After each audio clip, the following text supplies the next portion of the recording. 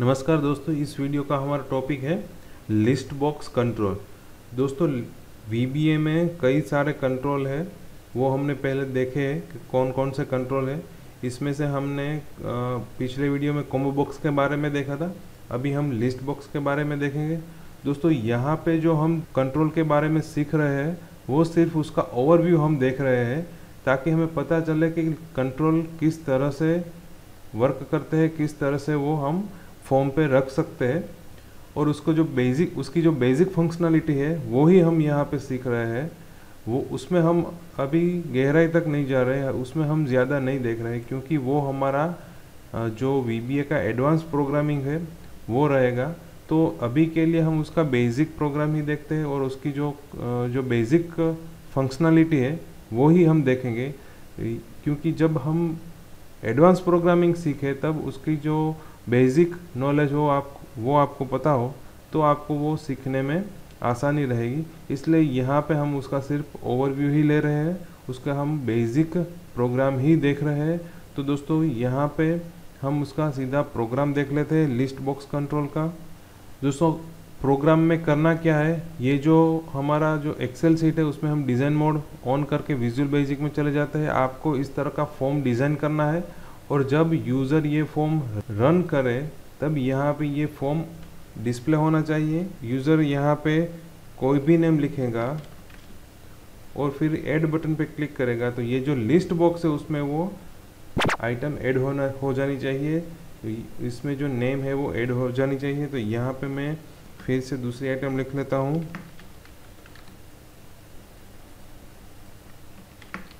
तो इस तरह से जितनी बार यूज़र क्लिक कर नेम लिखेगा आइटम का, और फिर बटन पे क्लिक करेगा तो यहाँ पे वो नेम वो आइटम ऐड हो जानी चाहिए। तो ये हमारा प्रोग्राम है।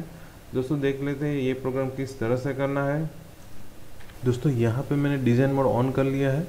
अब हम विजुअल बेसिक के कोड विंडो में चले जाते हैं।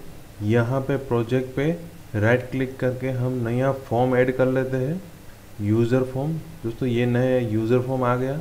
अब हम इसमें क्या करेंगे? एक लेबल ले लेते हैं। यहाँ पे लेबल की जो फॉन्ट साइज़ है, वो थोड़ी बढ़ा देते हैं। 16 की कर देते हैं। और लेबल का जो कैप्शन है, वो हम रख देते हैं आइटम्स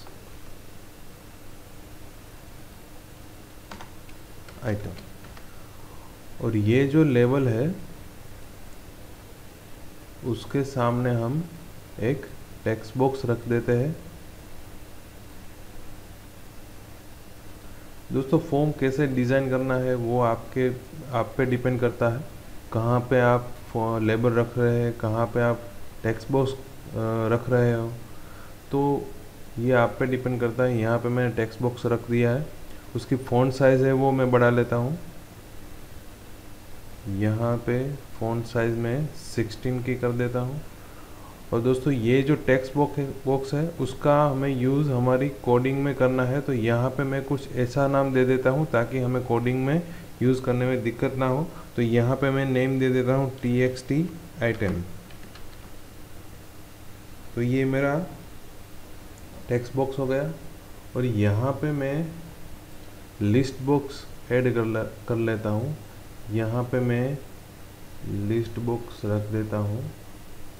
और ये जो लिस्ट बॉक्स है उस पर मैं टाइटल मतलब लेबल दे देता हूँ और उसमें लिख लिख लेता हूँ। उसका जो कैप्शन है वो मैं बदल देता हूँ कैप्शन रख देता हूँ। List ऑफ़ items और इसकी जो टेक्स्ट है वो अभी के लिए लेफ़्ट साइड आ रही है तो हम इसको यहाँ से सेंटर अलाइनमेंट में ले लेते हैं तो ये सेंटर हो गया। दोस्तों, मैंने पहले भी बताया था, एक बार फिर बता देता हूँ, यहाँ पे हम ये सभी कंट्रोल का सिर्फ़ ओवरव्यू ही देख रहे हैं। ये सभी कंट्रोल अपने आप में बड़े ही बहुत ही गहरे टॉपिक है। तो सभी के ये जो सभी कंट्रोल है उसके ऊपर एक एक पूरा वीडियो बन सकता है। ये सभी उसकी प्रॉपर्टी है, कई सारी इसकी इवेंट है। तो ये सभी जो है वो हम, हमारे वीबीए के जो एडवांस प्रोग्रामिंग है, उसमें हम ये सब सीखेंगे। अभी के लिए सिर्फ़ और ओवरव्यू ही लेते हैं, क्योंकि हमें पता चल जाए कि ये कंट्रोल क्या होते हैं वी बी फॉर्म क्या होता है। तो यहाँ पे जो सिर्फ़ है वो बिगिनर्स के लिए हम ये बना रहे हैं। इसलिए यहाँ पे हम सभी टॉपिक में सभी कंट्रोल में डीप में नहीं जा रहे हैं। सिर्फ़ यहाँ पे हम इसका और भी ले रहे हैं ताकि जब आप एडवांस एडवांस प्रोग्रामिंग सीखो तब ये इसका जो बेसिक नॉलेज है वो आ, वो आपके पास होगा। तो आपको तभी समझने में दिक्कत नहीं रहेगी। तो यहाँ पे मैंने लिस्ट बॉक्स ऐड कर दिया है। दोस्तों मैं यहाँ लिस्ट बॉक्स की फ़ोन साइज़ भी बढ़ा देता हूँ और 16 कर देता हूँ। और यहाँ पे अब मैं लिस्ट बॉक्स है उसका नेम दे देता हूँ। यहाँ पे लिस्ट बॉक्स वन नेम आ रहा है तो मैं उसको नेम दे देता हूँ। एल टी बॉक्स आइटम और यहाँ पे मैं एक और कंट्रोल रख देता हूँ बटन ये बटन है, उसका, उसकी फ़ॉन्ट साइज़ पहले हम बढ़ा देते हैं। फ़ॉन्ट साइज़ उसकी 16 की कर देते हैं। उसका जो कैप्शन है, वो हम चेंज कर देते हैं। उसका कैप्शन हम रख देते हैं ऐड मतलब यहाँ पे जो भी आइटम लिखेगा यूज़र और फिर ऐड बटन पे क्लिक करेगा तो ये लिस्ट बॉक्स में ऐड हो जाएगी।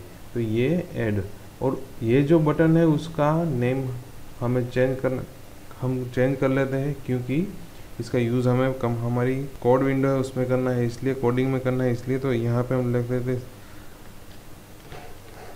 एन एड तो दोस्तों, ये हमारा डिज़ाइन हो गया। अब हमें इस पर कोडिंग करना है। तो दोस्तों कोडिंग क्या करना है? जो जब भी यूज़र इसमें लिखे, फिर यहाँ पे ऐड बटन पे क्लिक करें, तब यहाँ पे आइटम ऐड हो जानी चाहिए। तो हम ऐड बटन के क्लिक इवेंट पे हमें लिखना पड़ेगा। तो हम यहाँ पे ऐड बटन के क्लिक इवेंट में हमारा कोडिंग लिखेंगे। दोस्तों टेक्स्ट बॉक्स में जो भी कुछ लिखा हुआ होगा, वो हमें चाहिए तो हमें टेक्स्ट बॉक्स की टेक्स्ट प्रॉपर्टी यूज़ करनी पड़ेगी। तो दोस्तों, यहाँ पे मैं एक वेरिएबल ले लेता हूँ आइटम एज स्ट्रिंग और आइटम में हम क्या स्टोर करेंगे? जो टेक्स्ट बॉक्स में जो भी कुछ लिखा हुआ होगा, वो हम आइटम में स्टोर करेंगे। तो हमारा टेक्स्ट बॉक्स का नाम क्या था? T x t item dot उसका टेक्स्ट हमें चाहिए तो डॉट टेक्स्ट तो ये हो गया डॉट टैक्स अब जो टेक्स्ट बॉक्स में होगा, वो हमने आइटम वेरिएबल में स्टोर कर दिया। अब हम क्या करेंगे? ये जो वेरिएबल में वैल्यू है, वो हम लिस्ट बॉक्स में ऐड करेंगे। तो लिस्ट बॉक्स में वैल्यू ऐड करने के लिए हमें पहले तो लिस्ट बॉक्स का नेम लिखना पड़ेगा। तो हमारा नेम था लिस्ट बॉक्स का एल टी बॉक्स आइटम फिर लिखना है डॉट एड आइटम फिर रखनी है स्पेस और फिर आपको वैल्यू देनी है, हमारी वैल्यू आइटम वेरिएबल में स्टोर है तो हम यहाँ पे लिखेंगे आइटम बस दोस्तों, इतना ही हमारा प्रोग्राम है, सिर्फ़ तीन लाइन का ही हमारा प्रोग्राम है। अब हम इसको एग्जीक्यूट करके देख लेते हैं। हम पहले तो हम हमारे फॉर्म में चले जाते हैं। यहाँ से हमारे फॉर्म को रन रन कर लेते हैं। यहाँ पे मैं लिखूँगा वन एड पर क्लिक करूँगा तो यहाँ पे आ रहा वन ये निकाल के मैं लिखूँगा टू एड पर क्लिक करूँगा तो यहाँ रहा है टू दोस्तों, यहाँ क्या हो रहा है? ऐड पर जब ऐड बटन पर जब हम क्लिक कर रहे हैं, तब यहाँ पे वैल्यू निकल नहीं रही है। पुरानी वैल्यू वैसे ही रह रही है और यहाँ पे वैल्यू ऐड हो जा रही है। तो यहाँ पे हमें कोडिंग में थोड़ा एडिट करना पड़ेगा। हम यहाँ पे क्या करेंगे? या ये जो आइटम ऐड हो जाती है, ऐड हो जाने के बाद हम क्या करेंगे? टी आइटम जो हमारा टेक्स्ट बॉक्स है, उसकी जो टेक्स्ट प्रॉपर्टी है उसको हम क्या कर देंगे? उस, उसमें हम वैल्यू स्टोर करेंगे। कौन सी वैल्यू स्टोर करेंगे? ब्लैंक मतलब डबल इन्वर्टेड कोमा शुरू करके ख़त्म कर देते तो ये क्या हो गया? ब्लैंक हो गया।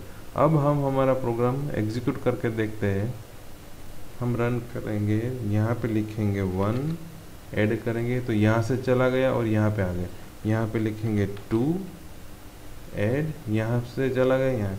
तो यहाँ पे हम कुछ भी लिखेंगे, वो हम ऐड कर सकें। और ये जो लिस्ट बॉक्स है वहाँ पे हम इस, इस तरह सिलेक्ट भी कर सकते हैं। तो दोस्तों ये था लिस्ट बॉक्स तो इस ये बहुत ही सिंपल सा प्रोग्राम है। तो इसकी प्रैक्टिस कर लीजिए ताकि हमारी जो एडवांस प्रोग्रामिंग में है जो हम सीखेंगे जो हम देखेंगे उसमें आपको दिक्कत ना हो। बहुत बहुत धन्यवाद। Thank you